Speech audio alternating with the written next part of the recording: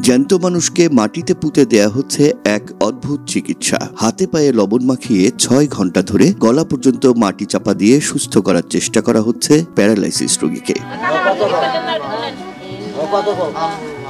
রোগীকে মাটিতে পুঁতে রেখে এমন অদ্ভুত চিকিৎসার ঘটনা ঘটেছে বগুড়ার সারিয়াকান্দি উপজেলায়। বাতাস না গেলেন তো আমরা এই মাটির মধ্যে এক গলা গাতা করে পুঁতে তুই। আবার বেশি বেশি আবার গাছ তুলে উপজেলা সদর থেকে মাত্র দুই কিলোমিটার দূরে যমুনা তীরবর্তী গ্রামটির বাসিন্দারা দাবি করেন এমন চিকিৎসা এর আগেও করা হয়েছে এই এলাকায়।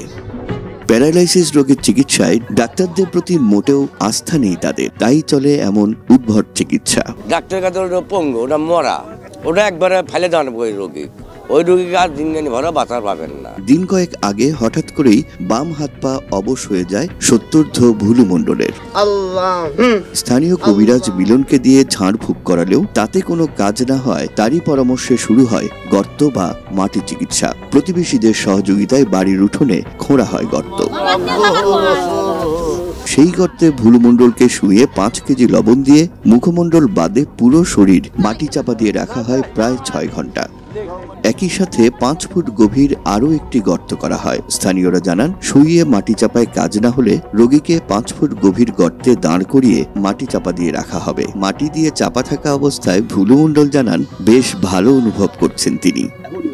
এখন একটু ভালো নিচে পরে উনি কথাবার্তা সব পরিষ্কার হয়ে গেছে। এখন মোটামুটি হাত বসা ঘটনার সময় উপস্থিত তার স্বজন ও স্থানীয়রা দাবি করেন প্যারালাইসিস জাতীয় রোগে এই চিকিৎসা বেশ কার্যকর।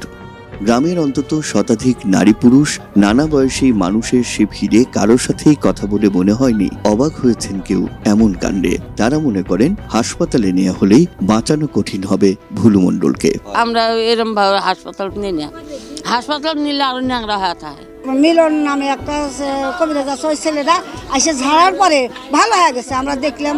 এদিকে সাংবাদিকদের উপস্থিতি টের পেয়ে গা ঢাকা দেয় ভুলুমণ্ডলকে মাটিতে পুঁতে রাখা কথিত কবিরাজ মিলন। স্থানীয়রা জানান, অটোরিকশা চালক মিলন নিয়মিত আশপাশের কয়েক গ্রামের প্যারালাইসিস রোগীদের এমন মাটি চিকিৎসা দিয়ে থাকেন।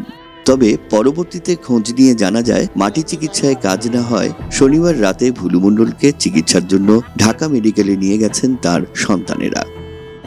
দুশো পঞ্চাশ শয্যা বিশিষ্ট মোহাম্মদ আলী হাসপাতাল বগুড়ার আবাসিক medical officer doctor Shafiq Amin Kajal জানান, কথিত এমন চিকিৎসায় রোগী সুস্থ হওয়া তো দূরের কথা, সময় ক্ষেপণের কারণে উল্টো রোগীর অবস্থা খারাপ হতে পারে আরও আধুনিক এই যুগে এসেও মানুষের মাঝে এমন কুসংস্কার এবং ভ্রান্ত ধারণার পেছনে সুশিক্ষার অভাবকে দায়ী করছেন তিনি। অরিজিনাল কোনো লিগ্যাল মেডিকেল কজে হয়ে থাকতে পারে, তাহলে ট্রিটমেন্টের দ্বারা তার ক্ষতি হবে। উপকার তো হবেই না, তার ক্ষতি হবে।